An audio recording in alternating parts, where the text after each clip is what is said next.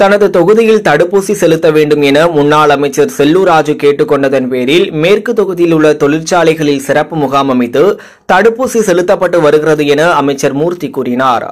மதுரை கோச்சடி பகுதியில் அமைந்துள்ள பென்னர் இந்தியா நிறுவனத்தில் பணிபுரியும் ஊழியர்களுக்கு தடுப்பூசி செலுத்தும் முகாம் நடைபெற்று வருகிறது. தடுப்பூசி செலுத்தும் முகாமினை தமிழக வணிக வரித்துறை அமைச்சர் பி. மூர்த்தி ஆய்வு செய்தார். முன்னாள் அமைச்சரும் மேற்கு தொகுதியினுடைய சட்டமன்ற உறுப்பினரும்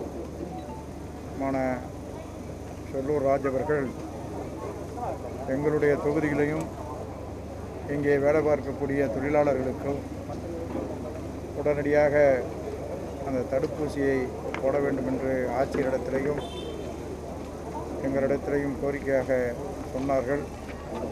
அது உடனடியாக இன்றைக்கு நிதிரா பெண்ணர்லையும் இப்பொழுது இந்த பணியை நம்முடைய மாவட்ட ஆட்சித்தலைவர் அவர்களுடைய தலைமையில் இந்த நிகழ்ச்சி நடந்து கொண்டிருக்கிறது.